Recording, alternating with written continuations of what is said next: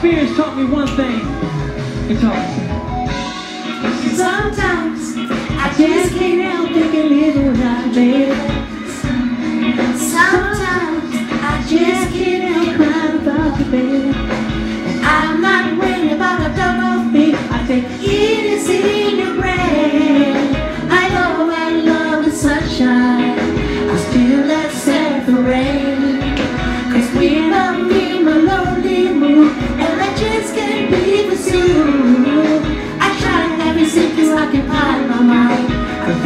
across the room